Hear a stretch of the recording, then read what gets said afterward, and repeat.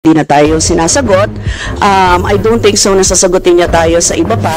Madam Chair, my answer for every question, I will forgo the opportunity to defend the budget of the Office of the Vice President through a question and answer.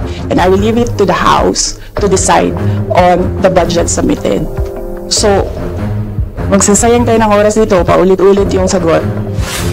mukhang hindi na tayo sasagutin ng ano no, hindi na, tayo, hindi na ako sasagutin ng ating Vice President. Madam Chair, the answers are in the AVP presentation, the opening statement, the documents that we submitted to the Secretariat, and the PowerPoint uh, presentation.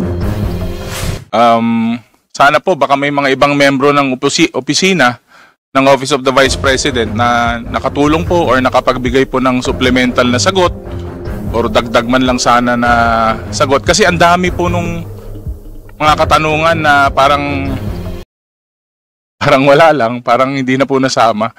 Eh, nandyan naman po siguro yung support staff or may mga kasama po dyan.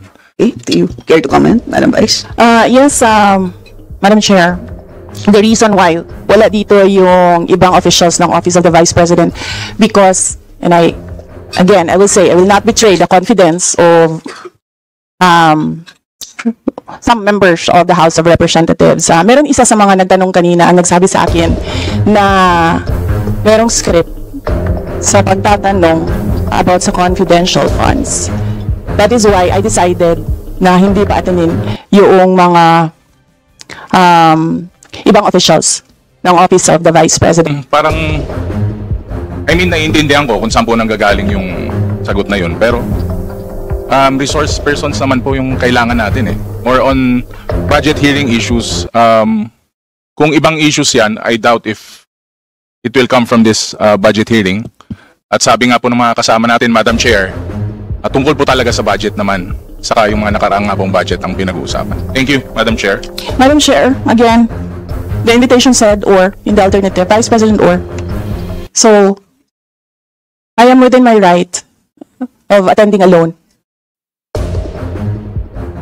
Um, yun lang po siguro, Madam Chair. Sayang, sayang lang din po yung pagkakataon. Ah, this is the perfect time na marinig din tayo ng not only our fellow representatives, um, pero, pero syempre ng taong bayan din po kung paano po nangyayari yung mga ganitong bagay, paano po napapatakbo, paano po nagagamit. Because nakalagay naman doon sa inyong invitation and I quote, nasa yung copy.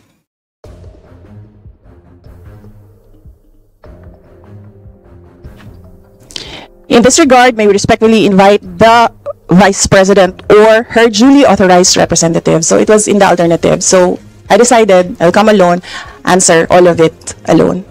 So let me just manifest my disappointment. Um, parang pumasok po ako sa meeting na to na may katanungan pero lalabas po ako na ng kasagutan and even more questions.